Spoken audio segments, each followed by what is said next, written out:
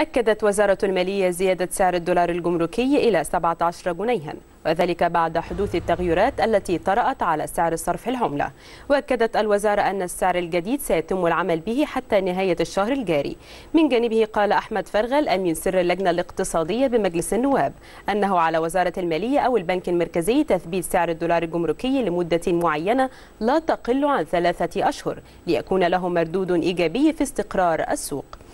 أستاذ مصباح البعض يرى أن هناك ازدواجية يعني تثبيت سعر الدولار الجمركي ل 17 جنيها في ظل قرارات البنك المركزي بتحرير سعر صرف العملة يعني ما هذه الازدواجية؟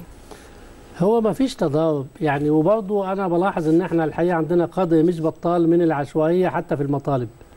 اللي حصل إنه أول ما بدأ تحرير سعر الصرف الجمارك عشان فيها شغل كل يوم فقالت خلاص هنتعامل يوم بيوم بمتوسط اللي هي أسعار اللي هتجيلنا من البنك المركزي عند تخليص اللي أي شحن. يعني في اللحظة دي البنك المركزي بيقول السعر كذا يعني اللي هو واخده من إجمالي التعاملات في البنوك هنقول للمستورد أدي السعر كذا كذا فالمستوردين اشتكوا وقالوا إنه ده بيعمل إيه خلل في المراكز القانونية بين المستوردين وبعضهم البعض.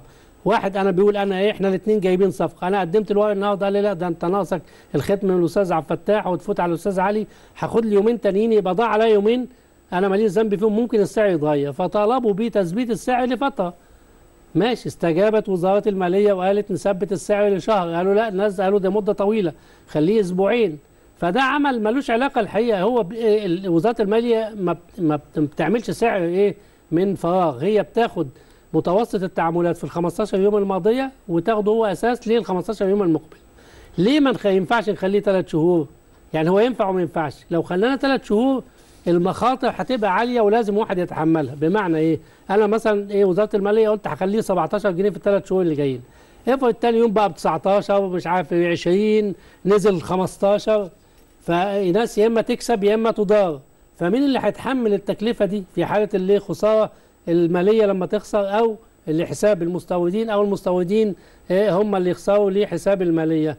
ومين هيتقبل الظلم ده؟ فاحنا بنقول الفترة الضيقة بتخلي السعر ده حتى لو حصل هبوط أو صعود فيه هيبقى مسافة قريبة يعني. بالعكس ده الأفضل إنه يبقى مسافة أقل لكن زي ما بنقول فترة الأسبوعين فترة مقبولة.